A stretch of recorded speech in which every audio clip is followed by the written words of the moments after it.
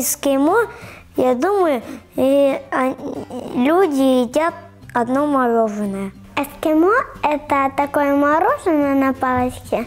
Оно отличается от других.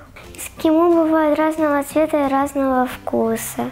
Бывают шоколадные, молочные, клубничные. Шоколадное, внутри беленькое.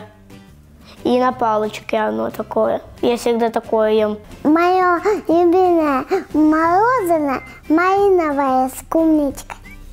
Я так люблю эскимо. Ням-ням-ням-ням-ням. Я бы его миллион съел. День эскимо я буду э, есть мороженое. Я люблю мороженое.